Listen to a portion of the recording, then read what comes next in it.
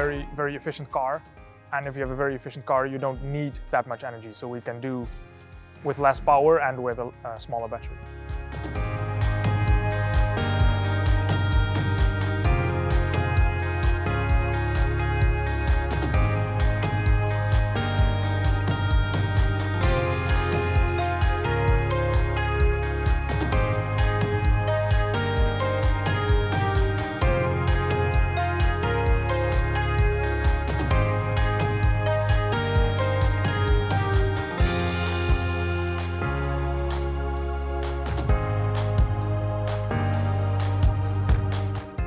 Lightyear One has a, has a relatively small battery, and that's uh, a very good thing because smaller battery weighs less, and a, a, a, lighter battery means you can have a lighter frame, and a lighter car, and a lighter car is more efficient, so you need less energy energy to drive, and you need a smaller battery again.